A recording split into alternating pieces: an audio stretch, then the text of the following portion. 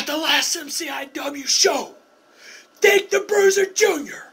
You wanted a shot at my ICW Crossroads Championship. And guess what?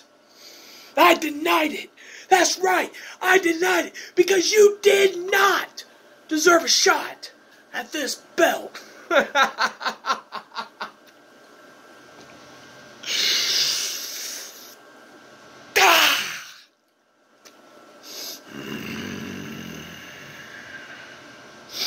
So what happens? You went to the MCIW brass, the board, and they granted you another title shot of my belt. Well, guess what? I've been this champion as of right now 561 days. And guess what?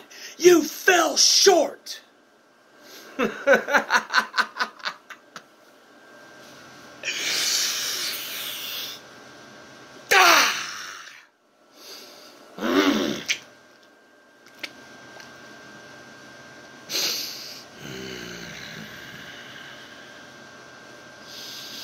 You took a pair of brass knucks and you blasted me right in the head. And yeah, I'm a man, and I'll admit when it hurt, and it hurt. But I got back up. I'm still alive, Bruiser. But guess what? You get no more shots at this belt. From the way I see it, Bruiser, you will never get a shot at that belt again. On to the next one. You move to the bottom of the rankings, and it's time for somebody else to take that number one contendership and take their shot at my belt.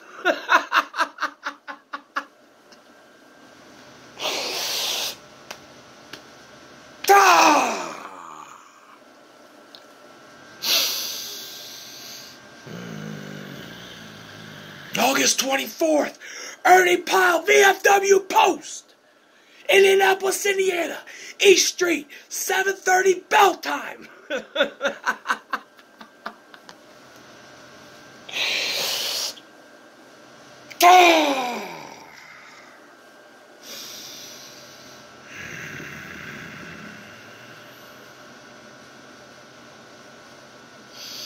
You want to know who will face me for that championship?